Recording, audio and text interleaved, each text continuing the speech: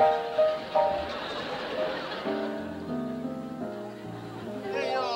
y'all, know my friend and my accompanist, Mr. Ken Lane. Ken's a real wonderful guy.